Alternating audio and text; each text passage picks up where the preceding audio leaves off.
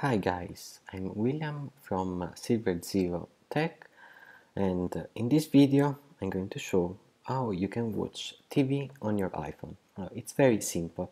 You got to download this app Stream TV on the App Store. So you search Stream TV and then you download this app. It's completely free so uh, you can download it.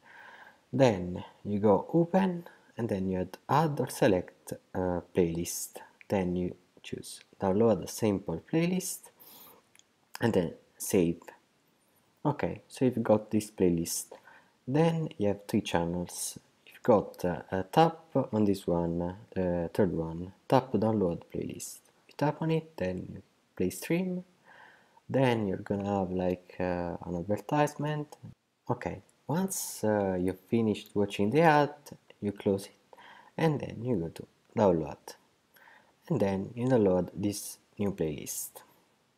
This new playlist is uh, Stream TV and this is the playlist you want. we've got uh, live events that uh, usually come out on top and then there's a section you can watch sports on this different channel NBA, football, golf, uh, whatever you want.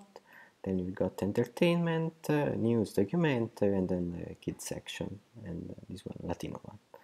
Okay, so uh, not uh, all of these um, TVs, um, TV channels uh, work. I've tried um, like um, a lot of them, and uh, some of them, uh, the most part, uh, works.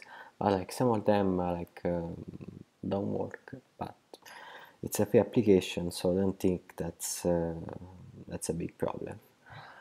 So, um, okay, the video uh, is finished. If you uh, like the video, be sure to like and uh, subscribe. I'm gonna see you next time with a new video. Bye.